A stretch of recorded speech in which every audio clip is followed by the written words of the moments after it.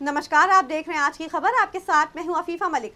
12 फरवरी को जब big boss के विनर का ऐलान हुआ तो नाम सुनकर सभी चौंक गए। फैंस मान रहे थे कि विनर प्रियंका जहर चौधरी या शिव ठाकरे में से कोई एक होगा, लेकिन सलमान खान ने जैसे ही एमसी स्टैन का नाम लिया, हर कोई हैरान रह गया। हर किसी के मन में स्टैन की पॉपुलैरिटी को लेकर कई सवाल उठे। लेकिन आपको बता दें कि एमसी स्टैन सच में बेहद फ़ेमस है। उनकी फ़ैन फॉलोइंग ने विराट कोहली, तेजस्वी प्रकाश और कई दिग्गज सेलिब्रिटीज को पीछे छोड़ दिया है। चौंक गए। आप सोच रहे होंगे, ये कैसे हुआ? ये मुमकिन भी कैसे है? क्योंकि विराट कोहली भारत के सबसे ज़्यादा फॉलो किए जाने वाले सेलिब्रिटी में से एक हैं। तो उनसे भी ज़्यादा पॉपुलर कैसे हो सकते हैं एमसी स्टैन यकीन मानिए, ऐसा ही हुआ है। तो आइए आपको बताते हैं कि कैसे ऐसा हुआ। जैसे ही एमसी स्टैन का नाम विजेता के तौर पर अनाउंस हुआ, मानो जैसे ट्विटर पर एक वॉर से छिड़ गई।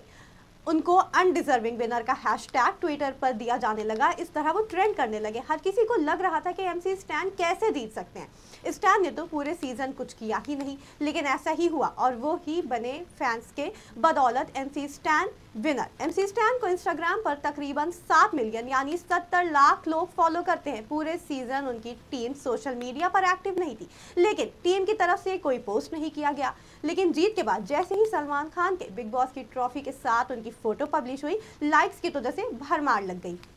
कुछ ही घंटों में एमसी स्टैन की फ़ोटो पर रिकॉर्ड तोड़ लाइक्स आए। उसी दौरान पोस्ट में विराट की तस्वीर पर जहाँ 20 लाख के करीब लाइक्स थे, वहीं स्टैन की फ़ोटो पर 60 लाख से भी ऊपर लाइक्स थे। रैपर एमसी स्टैन का फ़ैन बेस बेहद तगड़ा है। ये पोस्ट इस बात को साबित भी करता है। इसी वजह से उन्हें जीत भी हासिल हुई। खुद सलमान खान भी इस बात को कह चुके हैं कि एमसी स्टैन के फ़ैन उन्हें भर भर के वोट कर रहे हैं। स्टैन जब घर से बाहर जाना चाहते थे, तब भी उनके फैंस ने ही उन्हें रिकॉर्ड तोड़ सपोर्ट किया। बिग बॉस के घर से बाहर आने के बाद एमसी स्टैन ने कहा कि उन्हें कोई फ़र्क नहीं पड़ता कि कौन क्या कहता है। मैं बल्कि ऐसे लोगों को पसंद करता हूँ जो जेलस होते हैं। ये बहुत ही नेचुरल ह्यूमन इमोशन है। बस हर किसी को एक्सेप्ट करना चाहिए कि अगर कोई चीज़ उन्हें नहीं मिली तो वो उनके लिए थी ही नहीं। हर किसी की तरह मैं भी शॉर्ट हूँ, लेकिन मैं मानता हूँ कि मैं भी जीतना डिजर्व करता हूँ। अभी के लिए इतना ही इंटरटेनमेंट जगत की और खबरों के लिए जुड़े रहें आज की खबर के साथ।